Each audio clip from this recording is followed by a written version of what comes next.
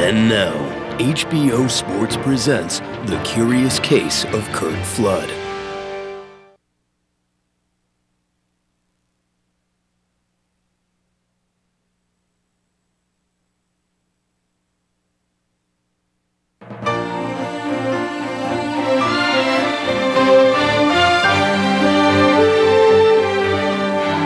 The following is a special presentation of the HBO Sports documentary series, Legends and Legacies.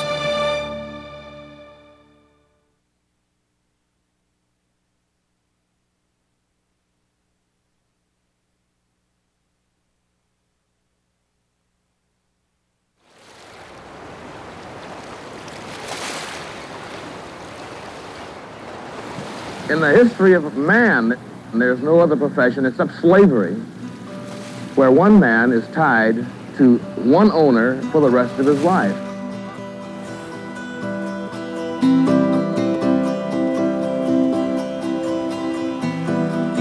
In slavery, they just shift you from one plantation to the other. In baseball, they do the same thing. They shift you from one franchise to the other, depending upon the whims of 24 millionaires. You say, all right, Curt Flood, you're making money. You make $100,000 a year. Well, that's not the point. The point is, I don't want anybody to own me.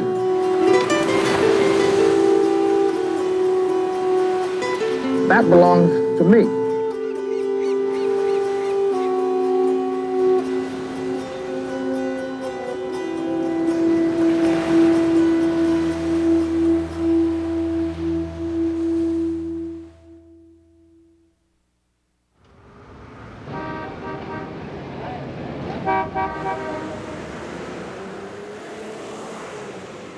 Curt came up to the office and we went out for lunch. Marvin and I were very curious to determine why he was really thinking about this. I said, You're one of the outstanding players in baseball today, but a case like this could take years. I wanted to make sure that Curt understood that this was A, no simple matter, B, that it was a, a million and one shot, in my opinion. It was at the time an outlandish notion that a ball player should have the right to choose the team for which he played. But at New York's Summit Hotel on November 24, 1969, Curt Flood seemed hell-bent on doing something outlandish to earn that very right. All the questions that were asked were to determine whether Curt was the Jackie Robinson on this issue. I said to him, if the million to one shot came home and you won it, you're never going to collect any damages. Curt thought about that for a minute and he said, uh, still, if we won, it would benefit all the other players.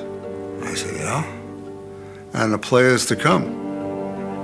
I said, yeah. He said, that's good enough for me. When the 31-year-old Flood left lunch that day, his mind had been made up. He was going to sue the game of baseball. Consequences be damned. Boy, something is gonna happen to this man here. He ain't never gonna play no more. The establishment in baseball, boy, they, they're just as through with me as they can possibly be, and I know it. You'll never really be able to tell why. I still don't see where it really came from because if you ask me before, would Curt Flood be the kind of guy to sue baseball? I'd say no. Until that point, I didn't know that Curt really had that type of thing in him. If that fateful decision by Curtis Charles Flood remains a mystery to some, its origins perhaps could be traced as far back as 1915 and a small town in Louisiana, where a young woman decided one day she'd simply had enough of the way things were. She was out shopping in an expensive store, and this Caucasian woman came up to her and said, Can you tell me where I can find me a nigger bitch to clean my house? Curt's mom said, I don't know any nigger bitches to clean your house. and the woman slapped her. She slapped her back. So naturally, the fight began, and mother had to leave there because they were going to lynch her. Laura Ricks fled the segregated South, eventually landing in relatively tolerant Oakland, California. There, she settled down with her second husband, Herman Flood, and raised six children. Curt was the baby. She was busy with all of them, but Curt was special. You could kind of tell she had a fondness for him. Curt learned as a grown man that he was poor. But as a kid, he didn't know he was poor. His mother had sheltered them in this ghetto in Oakland to make them not feel deprived or put upon. Mother was always seeing that we had music lessons. And Herman Sr. painted. He also played music. Curt's dad had worked with his dad in a traveling music group, so the family was very, very musical. But young Curt was drawn to more traditional boyhood pursuits. A lot of times we would be doing family things, but we had to drop Curt off with the little league team. He wanted to play baseball. He was usually playing ball with his older brother Carl, who was a phenomenal athlete and who Curt idolized as a, as a kid. Carl was a different cut. Carl was more cunning, more cutting, and he would fight.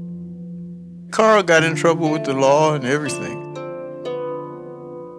He got sent down to one of those juvenile places. And of course, that really broke Curt's heart. By the time he was 18, Carl Flood had been arrested nearly a dozen times. Little brother Curt, meanwhile, was making a very different impression on folks in West Oakland. What stuck out about Curt was his being curious about things. He was a bright candle, and he made sure you knew he was there. At 14 or 15, I would have been surprised if he didn't get to the big leagues. He had that much ability. He'd make great catches that looked normal. As soon as he heard a crack in the bat, he knew where the ball was going to go. Turned his back and he ran and turned around and made it look easy.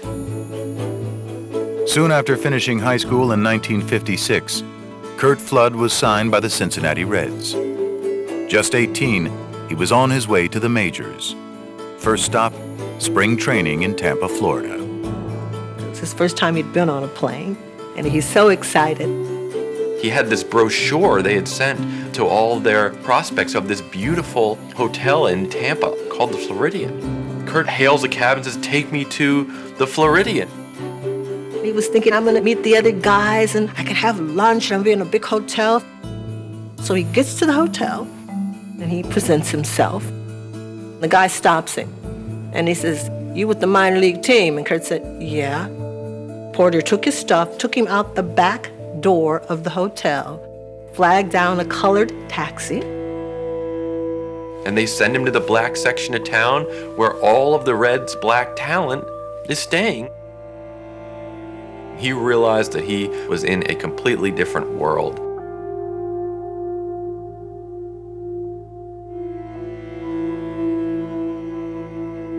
From the time someone made me stay in the colored section when the white kids stayed on the beach, I felt like a nigger.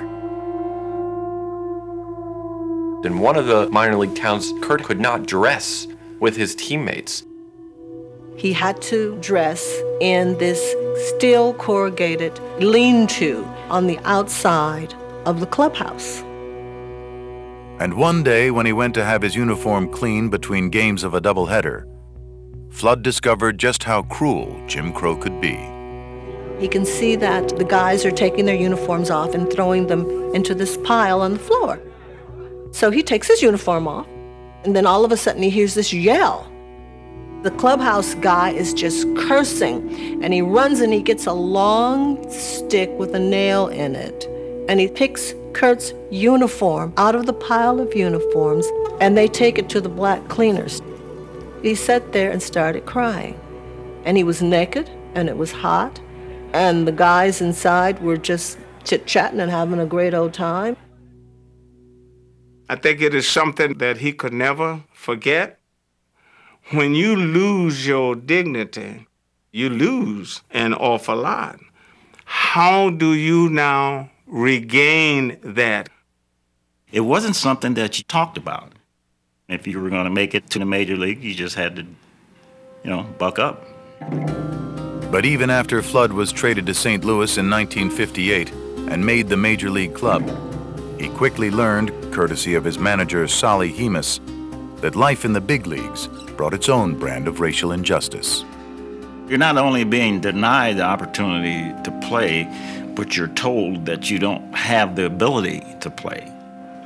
Solly told him that he should probably quit baseball and try something else. He told me the same thing. It didn't affect him nearly as much as it did me.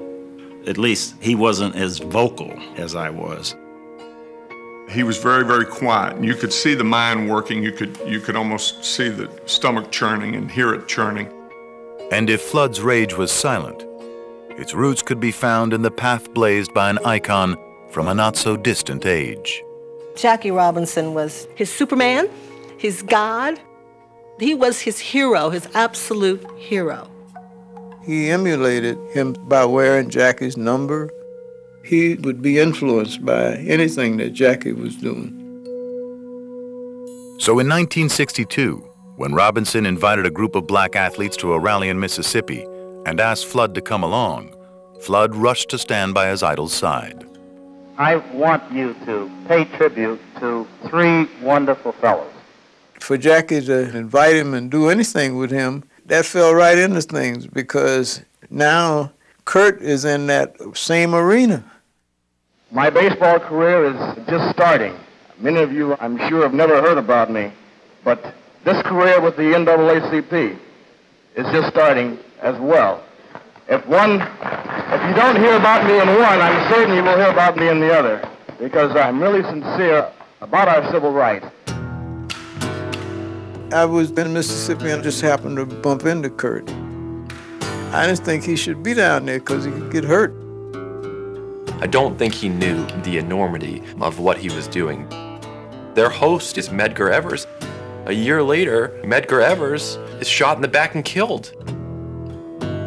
I talked to several people here, and they were saying how grateful they were to me for coming down here to, to do this for you. Well, that's not the truth. I, uh, I came down here because of myself and my children, because they are certainly affected by it, just as yours are. If there's anything that I can ever do as far as this fight for freedom is concerned, certainly count on me. Thank you very much. Curt Flood had found his political voice. While back in St. Louis with a new manager, he was finding his professional footing too. Starting in center field for the 1964 world champion Cardinals. Away from the field, with a young wife, four small kids, and another on the way, Flood was also the picture of personal success. But when he sought to move his family out to the Bay Area suburbs just weeks after the 64 World Series, the leaser, upon learning his new tenants were black, threatened to hold the house hostage at gunpoint. And the fight for freedom which Flood had spoken of in Mississippi was suddenly at his doorstep. Of all places where you would think it would be most welcome, World Series hero and still your blackness was something that you had to deal with. They filed for a preliminary injunction, a court order, armed police protection. They searched the entire house for bombs and moved Curt and his family into that home, television cameras rolling the entire time. There's a great deal of pride involved here. How, how, can they do this? Not because I'm a professional athlete or because I'm a, a Negro even, but I, I, am a human being, regardless of what I am. I, I think that if I can afford this, this place, I think that I certainly ought to have it. The easiest thing for Curt to do in that Alamo experience was to rent another house. But he took on this racist with a shotgun through the court system. And he was vindicated by the court system. What good do you think could come out of this? Well, I think that the notoriety that's undoubtedly going to be involved here, uh, will make people aware, if nothing else, that that prejudice is is not only confined to the southern part of our United States, and if they if they move their mustache and look under their nose, they, they find it right here at home too.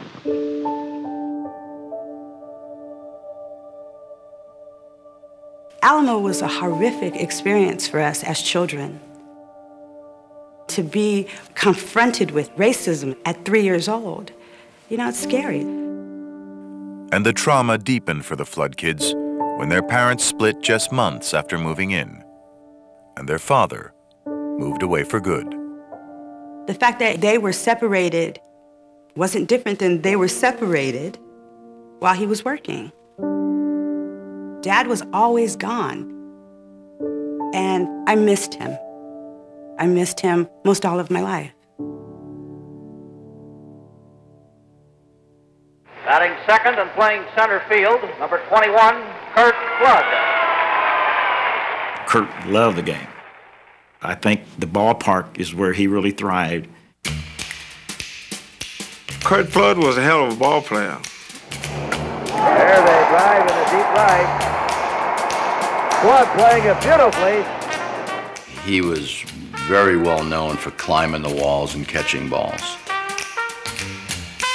Watching him catching the ball was like watching pretty girls go by. The next one was better than the last one.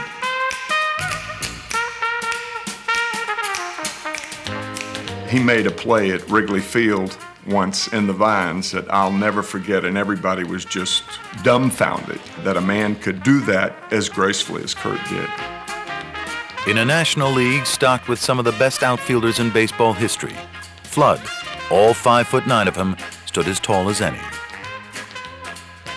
A perennial gold glove recipient, Flood once went an entire season without making a single error. Curt Flood was an extraordinary overachiever. He must have had extraordinary inner drive, but it was all personal and it was all ambition. Here's Curt Flood, the premier defensive center fielder in the National League. He was a pesky little guy. You know what I mean? He, he was a, a guy that uh, I call him Nats that put their bat on the ball all the time. That's what Curt was. Curt Flood, the most consistent hitter for the Cardinals all year. He was a guy that you could depend on day in and day out. And you were always going to get a top flight job, just doing things to help the ball club. On the field, there was no more reliable cog in the Cardinal machine. But off of it, there was no individual more distinct. Curt was a Renaissance man before the term Renaissance man was coined. Curt could play a piano. He went to spring training. He came with a ukulele and pretty much taught himself. If we'd had a couple hula girls out there, uh, he could have played a song or two for them. If there was any game that took coordination, he would do it. And then he'd put it down and say, got anything else you want me to do?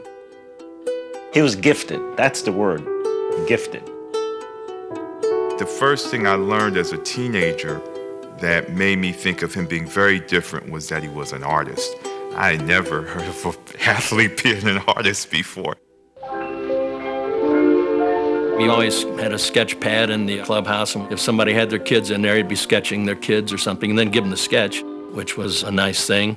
In 1967, Flood traded his pencil for a paintbrush and opened Curt Flood Associates, a studio that did photography work and featured Flood's paintings. Soon, his commissioned work began popping up all over St. Louis, while a portrait he did of Martin Luther King brought him national acclaim. Flood is an interesting fellow. He's quite a portrait painter. So prolific was Flood as a portrait artist, teammates took to calling him Rembrandt. He had volunteered, Joe, anytime you want me to do something. He asked me, Do you have a picture of your kids? I said, Well, I got a picture of me and my two girls. He said, Well, could you let me use it? And then he painted that. He painted a picture of my son and daughter. It was beautiful. It was like, how could he do that? Because all he had was a photo, right? Painted Gussie's picture and presented it to him down in spring training. And Gussie got a little bit choked up at the time. There was no better way for Curt to ingratiate himself with the owner of the Cardinals. Busch loved this portrait. And this is just one reason, in addition to his amazing catches, why he really was Gussie Busch's favorite.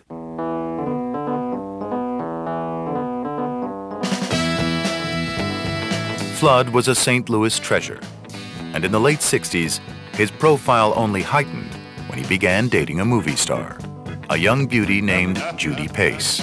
When we would go into places, especially within the African American community, there would be a little chaos. And he loved it. If the start of his baseball career had been stained by injustice, Flood found his prime painted by the perks of success. Curt had a magnificent penthouse.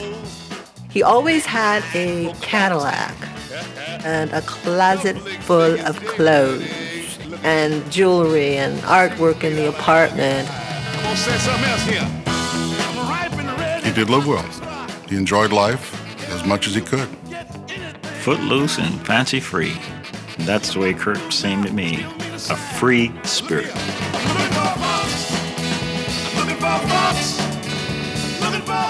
I was not the only person that Curt was dating. He had different girlfriends. He lived the life of a ball player who's young, single, and the women adore. If that weren't enough, Flood also happened to play for one of the best teams in baseball. After winning their second World Series in four years in 1967, the Cardinals, behind the Cy Young Award winning season of Flood's roommate Bob Gibson, reached the Fall Classic again in 1968. And in the deciding Game 7 against the Detroit Tigers, Gibson was on the mound seeking his third victory of the series. With two on and two out in the seventh inning, the score was tied at zero when Detroit's Jim Northrup stepped to the plate. Northrup hits the ball to all fields.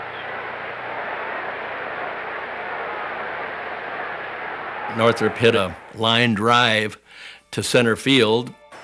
Well hit line drive. Fly ball, Flood. Hey, almost won. He misjudges it over his head. Two runs are going to score. The same thing almost happened earlier in the game to Jim Northrup, and now it has happened to one of the greatest defensive center fielders in baseball, Curt Flood.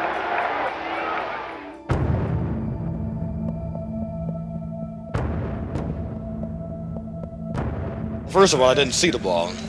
The, the background here is not very good. I, I, didn't think the ball was hit as well as it was. And then when I realized it, I tried to re reverse my feel and I slipped. He got stuck in the mud. The rain the night before was torrential, and uh, center field was muddy. He took that one step in and he couldn't recover. It was just circumstances, you know. Shit happens. Do you think you could have made the play on the ball if you picked it up right off his bat? Well, I don't know. We were just talking about that, and uh, I, I really don't think so. You're coming back next year. Of course we are. We'll see you the same time right here next year.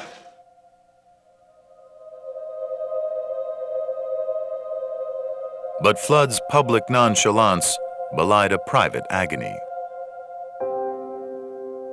He was devastated. Northrup.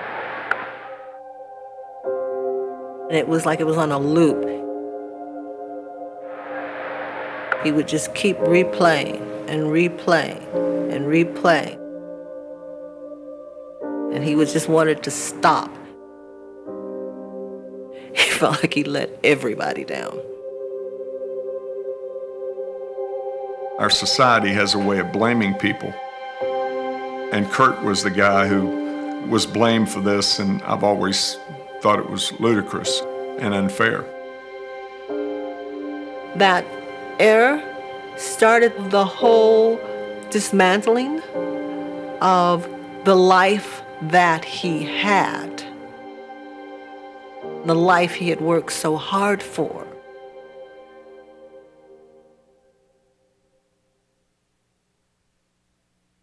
Curt smoked.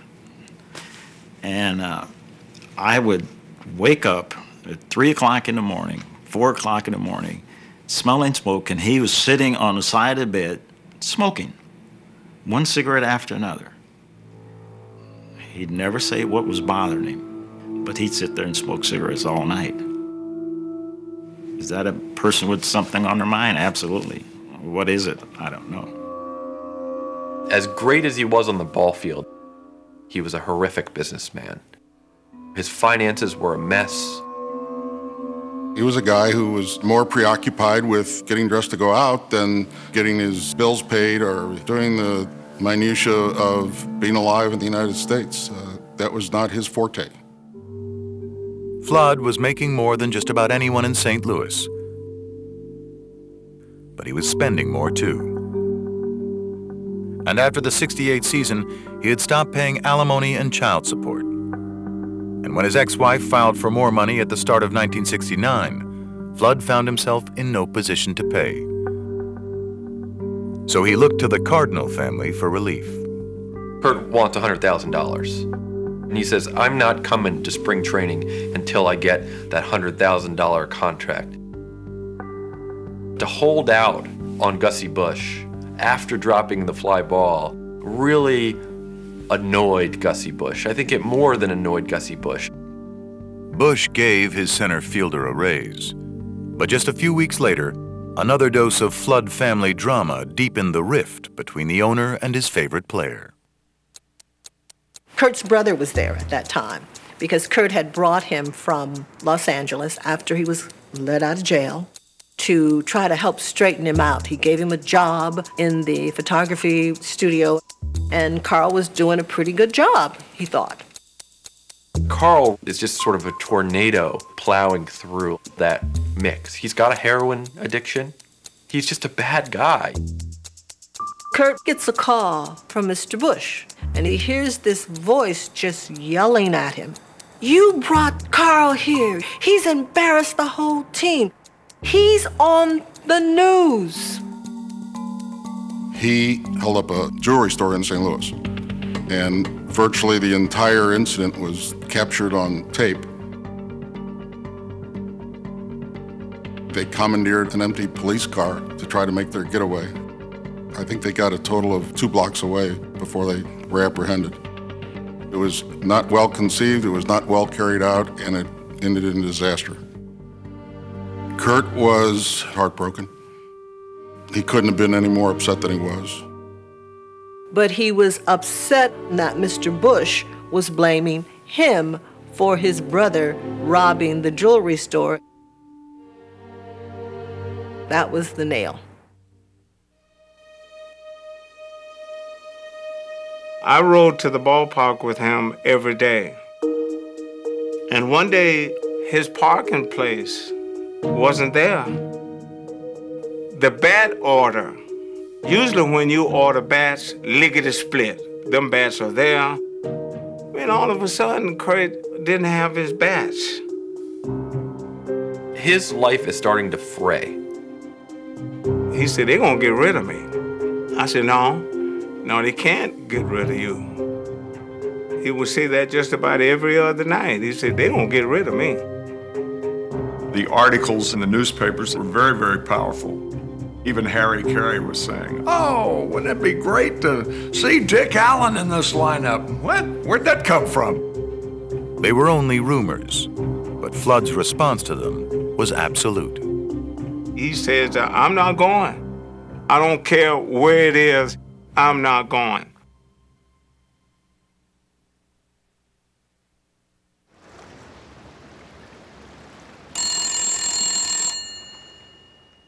Curt gets a phone call from someone in the Cardinals front office who he describes as a middle echelon coffee drinker. Curt, you've been traded to the Phillies, you and McCarver. I'm very sorry, and hangs up.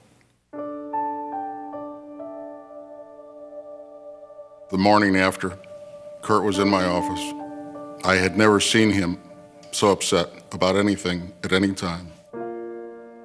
After 12 years, seven gold gloves, and two World Series titles, Flood had been told his services were no longer needed.